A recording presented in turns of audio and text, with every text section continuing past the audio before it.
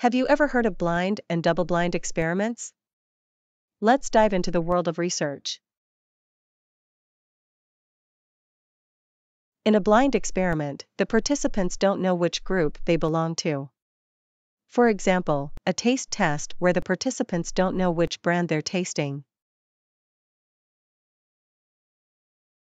In a double-blind experiment, both the participants and the researchers don't know which group the participants belong to.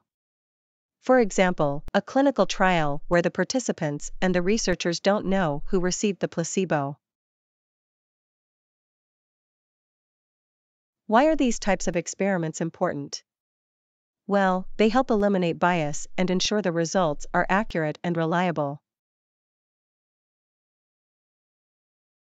For example, a study found that when researchers knew which group the participants were in, they were more likely to report positive results.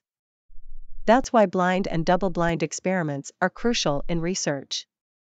Now you know the difference between blind and double-blind experiments.